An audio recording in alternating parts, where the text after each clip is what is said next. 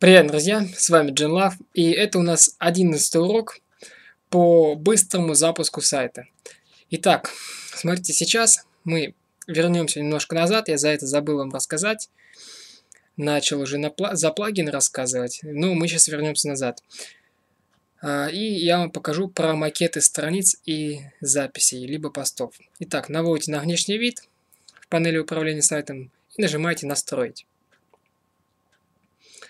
Итак, далее прокручиваете вниз и нажимаете на дизайн. Далее нажимаете макет по умолчанию. То есть тут именно макеты страниц и записей, как бы, да. Итак, мы выбираем макет, макет по умолчанию нашего сайта, а именно э, с боковым сайдбаром справа, это у нас вот это вот будет называться сайдбар. Боковым сайдбаром справа, либо с боковым сайдбаром слева, либо без бокового сайдбара с контентом в полную ширину сайта, либо без бокового сайдбара с, контентом в столбик. Итак, давайте смотреть.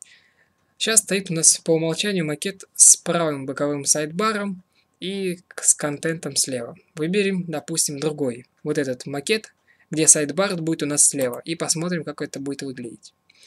То есть сайдбар слева, а контент справа. То есть вот так можем отображать э, основной макет. Далее. Смотрите. Не значит, что если мы так один раз выбрали, значит у нас все время будет сайт такой.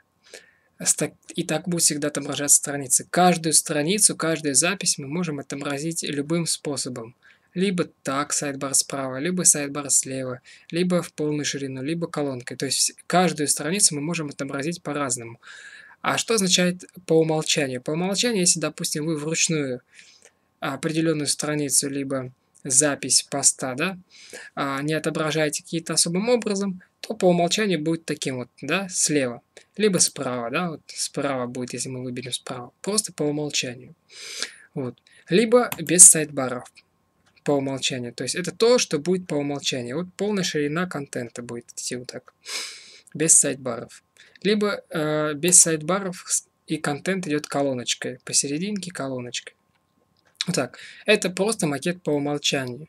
А так в целом каждую страницу э, мы будем отображать так. Смотрите, что здесь нужно выбрать в принципе. А, здесь нужно выбрать вам самим, как вам больше нравится расположение. Если вы будете вести посты, выкладывать какие-то записи, развивать этот сайт еще и как блог, тогда вам нужно выбрать, как вам больше нравится. С правым сайдбаром, ну, в принципе, либо с левым. Ну, чтобы по умолчанию, как лучше было бы. Вот.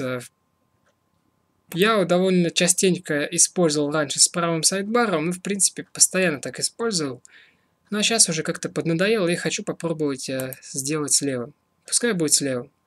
Это будет по умолчанию. Итак, оставим так и нажимаю «Сохранить».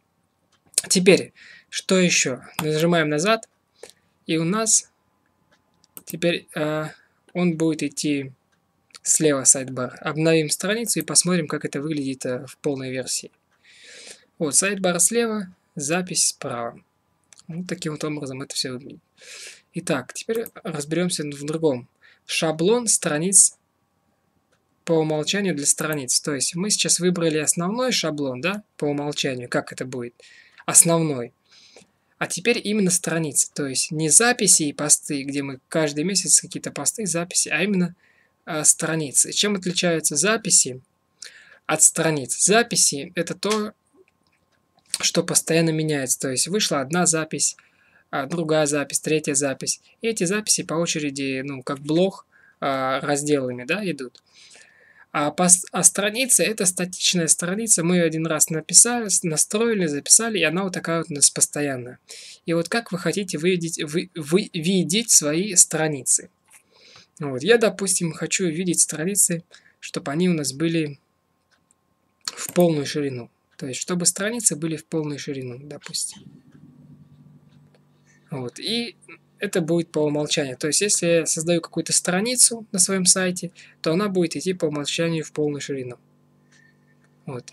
Или, допустим, а, в колонку. То есть это тоже все выбирается. Ну, давайте для примера оставим в полную ширину. А так, э, если в любой момент это можно поменять. Но я, это я должен вам показать, чтобы вы понимали. Так, теперь шаблон постов а, по умолчанию. То есть, вот мы, допустим, создаем пост, открываем. И как он будет по умолчанию? С левым боковым сайдбаром или с правым? Но если мы уже заранее примерно определились, что нам больше нравится слева, тогда мы выбираем слева. Вот. Повторяемся как бы. Вот так можно выбрать и справа. То есть ваше желание, как вы хотите видеть каждый ваш пост, слева или справа. Вот, я выбираю слева, сохраняю. Далее. Следующий идет у нас запись блог пост display type. Итак, ну, к этому мы вернемся позже. Тут надо больше показывать, чтобы вам было понятно. Итак, к этому вернемся позже, а сейчас мы на этом видео закончим. И увидимся в следующем видео. Сейчас я главное, что вам показал, что мы можем по-разному э, показывать наши страницы и отображать. Итак, увидимся в следующем видео, где как раз и займемся а, постами и страницами. А на этом все. С вами был Анатолий Быков, Джин. Пока.